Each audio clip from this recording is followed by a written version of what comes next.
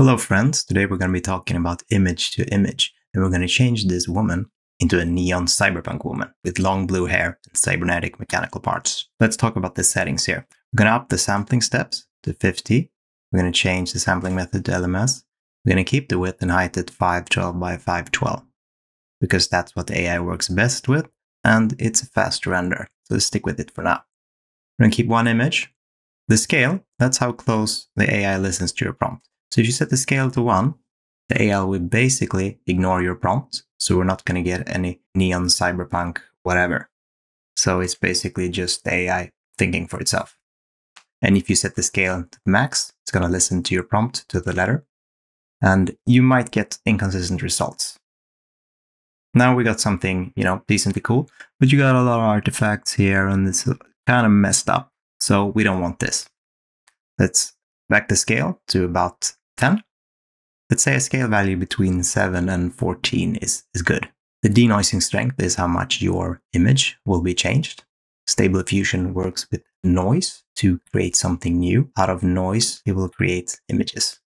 So we set this to 0, we'll have no noise, and the image will basically look the same. If we set this to the max, the image will change vastly. So we don't have anything left from the input image. Now we only have the prompt working. And it's still a good image, but we're not getting what we wanted, which is this as an input.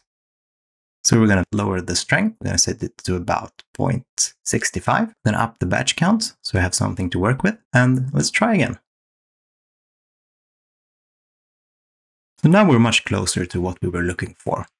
We have our input image. We have these women are leaning to the right the, this one and this one and almost this one, leaning the same as this one.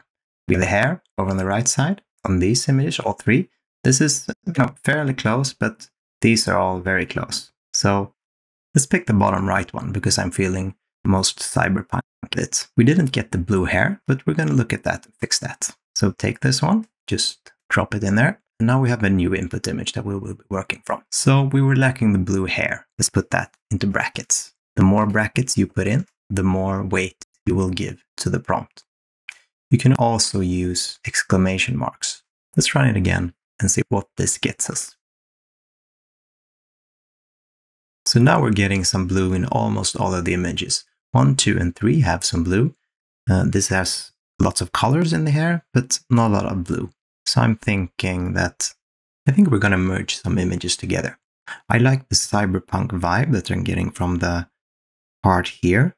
I like the eye, so let's try and keep that. But I prefer the hair to fall down like the original image, like this one, or maybe this one and this one. We're not getting the blue like this one has, but let's see what we can do. Let's take this, slap that into Photoshop, take this, that in there. Now we're going to put a mask I'm going to hide this. I'm going to paint back the parts we want. We have the hair here. We don't need all of this. For the other one. Get rid of this. And then we're actually going to paint some blue in here. Now don't worry about messing the image up too much. The AI will fix that.